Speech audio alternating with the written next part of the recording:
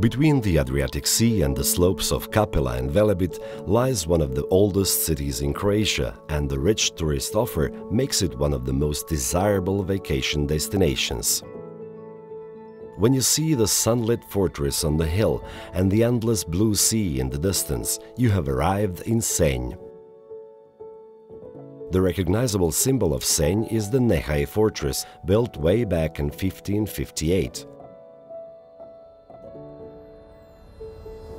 The Nehaj fortress is surrounded by a park of the same name, which has beautiful walkways and an impressive view of the old town.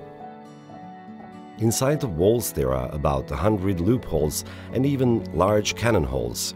A collection of Senj Uskoci and the city and noble coats of arms of Senj have been installed.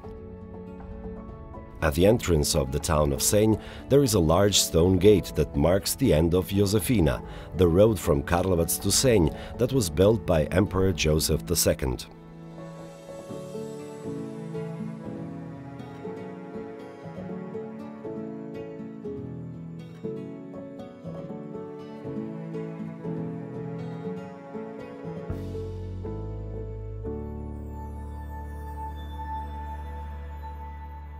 At the foot of Velebit, nature has created many bays, and each of them is special, so all you have to do is choose the one that suits you best and spend the day here enjoying the smell of Mediterranean herbs.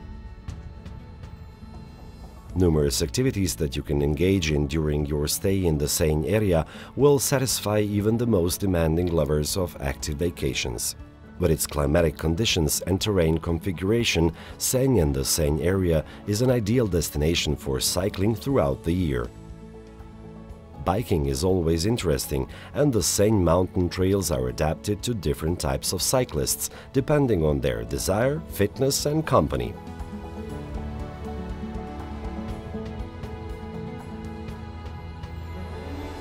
Don't miss visiting the Northern Velebit National Park and enjoy the beauty of this beautiful and powerful mountain.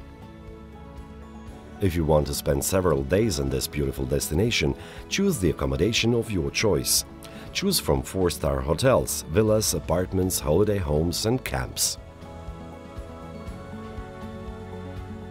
This magical destination, with a pleasant climate throughout the year, offers priceless experiences regardless of whether you are an adventurer, athlete or simply a nature lover.